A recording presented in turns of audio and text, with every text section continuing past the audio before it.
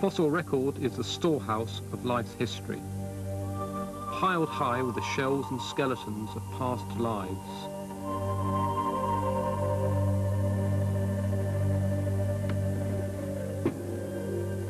For paleontologists such as myself, here are all the clues for hundreds of millions of years of animal evolution. But as I move back in geological time, so I come across a fundamental problem. Most of the evolution of life has left no record at all, and that's more than 80% of Earth history. Three billion years during which we know little about the single-celled creatures which evolved in that immense interval of time. But fundamental new evidence suggests that we will have to radically alter our understanding of the early evolution of animals. About 550 million years ago, at the beginning of the Cambrian, there is an explosion of animal life. The first skeletons appear, but these skeletons are very different indeed from those which we're familiar with at the moment. They're called the small skeletal fossils. And they are very small. There may be thousands in just one kilogram of rock.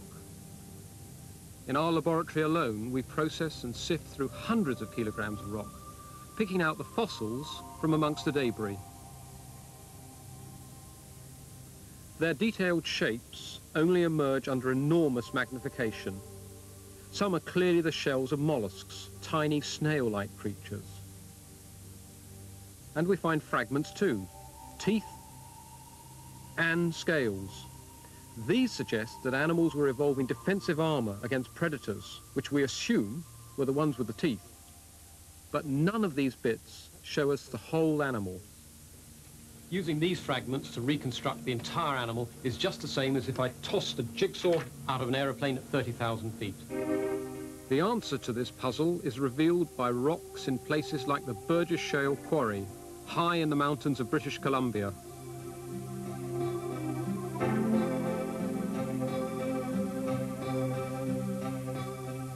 Five hundred and thirty million years ago, this was a muddy seabed where exceptional conditions preserved thousands of soft-bodied animals that tell us more than shells or skeletons ever can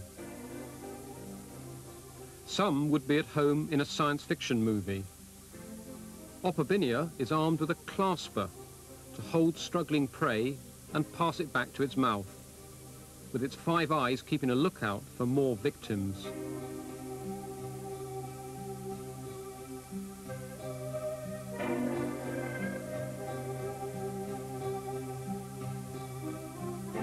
The bizarre hallucigenia seems to have mastered walking on seven pairs of stilts. But what of its seven tentacles? Not long enough to pass food around the head to where its mouth ought to be, so perhaps it had seven mouths. As our studies began to uncover the fundamental strangeness of these Burgess Shale animals, we had the first hints of the shape of things to come. One of the most exciting things about working on these Burgess shale fossils is that we found representatives of almost all the modern groups of animals, from worms through various kinds of sponges, even to chordates, the earliest representatives of the vertebrates, which of course include ourselves. But in addition to those familiar types of organism, we've also found some 20 unique sorts of animal that don't fit readily into modern groups. And this suggests that there was a, a rather greater disparity of form in the Cambrian than there is today. What's emerged from this is the need for a radically new picture of early evolutionary history, because the variety of designs we now see in the Burgess fossils had been overlooked ever since their first discovery. They were discovered in 1909 by America's greatest paleontologist, C.D. Walcott, head of the Smithsonian Institution. But Walcott was convinced that the history of life necessarily was progressive, began with a few simple, primitive precursors to creatures who came later and moved ever upward and outward. So his view of life looks something like this, from a few simple beginnings, up and out. So he took every one of these Burgess organisms and shoehorned them into modern groups. Some became relatives of insects, others became worms. Now, 20 years ago, Burgess quarries were reopened. The task of redescribing the fossils was assigned to Harry Whittington of Cambridge University. He and Derek Briggs and Simon Conway Morris, his two brilliant students, found a new world because what they have done has led to a remarkably radical revision of what everything looks like.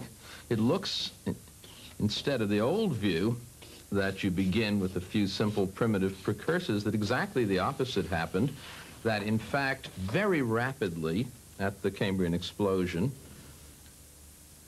we achieved on Earth more disparity, that is a wider range of anatomical designs, not more species, of course, because this is just one quarry, but within very few species, an enormous range. So how could such a variety of designs have arisen so quickly what sparked the Cambrian explosion must have been a change in the environment, both in the physical conditions but also the interactions of the organisms themselves. At the end of the Precambrian, there is clear evidence that a supercontinent broke up. And a corresponding rise in sea level flooded the edges of the land.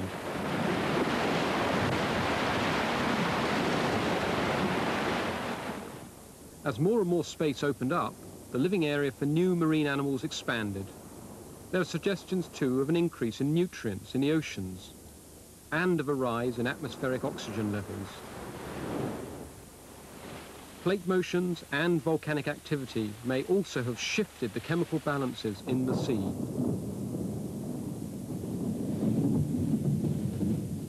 Any of these global changes might have triggered the rapid rise of animals, which we now know was global too, as Burgess-type animals have been discovered at more than 30 new sites from China to Siberia. So there is no doubting at all about the magnitude of this biological event. It's the first filling of an empty ecological barrel. For animals, there were almost limitless opportunities. And not only that, but there seems to be little competition for either food or space. Almost anything was permissible. I just don't believe that barrel filling is an adequate explanation for a very simple reason, namely the magnitude of the effect. There have been no new basic designs of animal life originating since the Cambrian. And therefore, I think there must be something internal to the structure of organisms that actively prevents the origination of this kind of fundamental diversity. Again, I confess we don't know much about what it could be. The answer may come in development and embryology. It may be that once you set out a ground plan of animal development that it's so intricate that it simply can't be disrupted in many ways. And so genetic systems may themselves become less forgiving of major structural reorganization through time. It's an intriguing suggestion that in animals today, from mammals to birds to reptiles, the genetic potential for more variable body plans may have been lost. Work in developmental biology may eventually provide us with some indication that different genetic mechanisms might have operated back in the Cambrian. But happily, the fossil record also provides us with some clues. Work on Cambrian trilobites suggests that individuals were very much more variable in aspects of shape and dimensions than later trilobites. And if this variability were under genetic control, it may indicate some genetic flexibility in the Cambrian which disappeared later on. And the lack of that genetic flexibility subsequently may explain why no totally new body plans evolved after the Cambrian. But the explanation may in fact be a great deal simpler. It may be that once any new niche opened up or any niche was vacated, there was always a, an existing group of organisms ready to evolve into it. As the Cambrian barrel filled, so competition increased and the world became a very much tougher place. Most Cambrian animals are extinct. Seen in hindsight, the success of the surviving group seems to be absolutely inevitable. But there's not a shred of evidence that those doomed to extinction were in any way inferior at all. Take this Burgess beast, Wiwaxia. I could argue that it became extinct because it molted its whole skeleton. rather than steadily growing a larger one, like the successful mollusks. But if Wiwaxia had made it, and the mollusks not, I could just as easily argue the whole case the other way round. Back in the Cambrian, and deprived of hindsight, there seems to be no way to choose between them. And that's a general principle of history. It doesn't apply only to the Burgess Shale. It applies to the entire history of life. Just think of the immense improbability of human evolution. We are not the foreordained product of an evolutionary process inevitably leading to us. We are the end result of hundreds of thousands of contingencies, of a sequence of events, any one of which, had it occurred differently, and any one of which could have occurred differently in a hundred different ways, would have caused evolution to veer into another pathway which would have been just as sensible and explainable, but would not have included the evolution of conscious intelligence. The best example I can give is mass extinction extinction. Dinosaurs died 65 million years ago in a mass extinction that was probably triggered by extraterrestrial impact. Suppose you run the tape of life again. The comet doesn't hit. Dinosaurs survive. Why not? They've been doing very well for 100 million years. They've only been 65 million years since. Dinosaurs survive. Presumably dinosaurs still rule the Earth. They don't get any smarter. They didn't for 100 million years. Mammals, who had been tiny creatures living in the nooks and crannies of their world, never any bigger than this, are still tiny creatures living in the nooks and crannies of their world, and we wouldn't be here. So in a very real sense, we have to thank our lucky stars for our existence at all.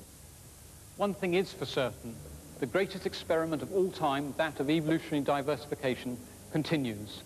Ever since the initial diversification of animals in the Cambrian, it is clear that some animals have grasped the opportunity and other ones may have let them slip. Chance has surely played some part in controlling the past, and if this is true, so it must control the future also. The Earth is more than four and a half billion years old. We've only appeared halfway through its history. Chances are we won't be around five and a half billion years from now, when the sun runs out of fuel, swells to a giant size, and so brings the Earth's evolutionary experiment to an end.